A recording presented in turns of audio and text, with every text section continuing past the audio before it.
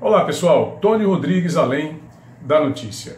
Esta semana eu estava aqui preparando um editorial que para o meu para a minha página, meu blog, não é, na internet. E esse editorial me chamou muita atenção pelo fato de que rapidamente houve uma reação do governo do estado. Deixe-me ver aqui, eu vou acessar aqui o, o blog para que a gente acesse também o conteúdo.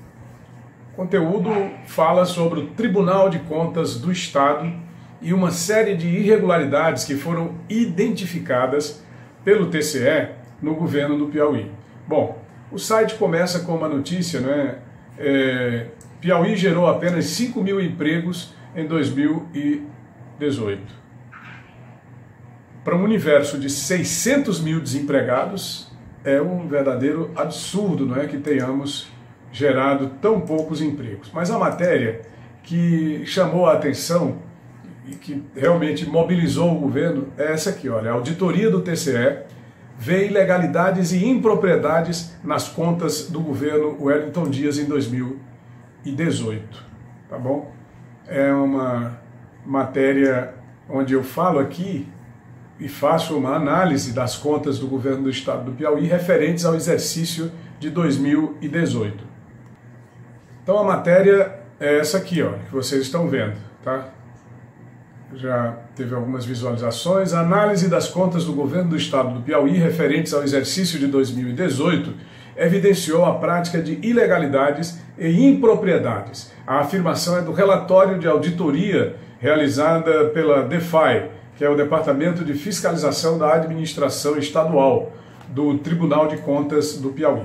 Foram analisados detidamente é, todas as movimentações financeiras realizadas pelo governo do Estado nos anos de 2017 e 2018. Ano orçamentário de 2018, constatando-se a prática de irregularidades pela administração do governador Wellington Dias.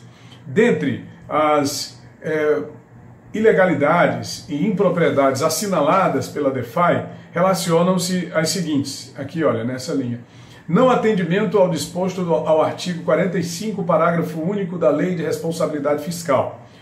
Utilização de mais de 83% dos recursos empenhados com pavimentação, construção de calçamento.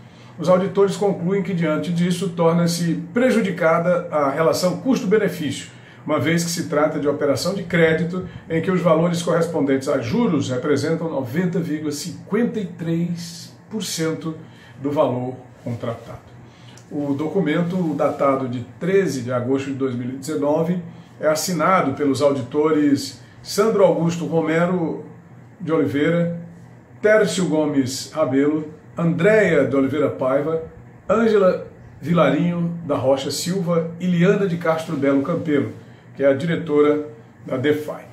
Um detalhe interessante é que as ações, essas ações consideradas irregulares, foram financiadas com recursos de empréstimos, totalizando a quantia de 777 milhões e 486 mil reais, quase 800 milhões de reais identificados pelo Tribunal de Contas com investimentos irregulares. E a nossa pergunta é: e aí? A oposição nada tem a dizer?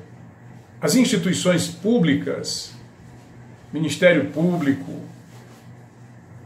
o próprio Poder Judiciário, nenhuma providência tem a tomar diante de tantas e tamanhas irregularidades patrocinadas pelo atual governo do PT no estado do Piauí?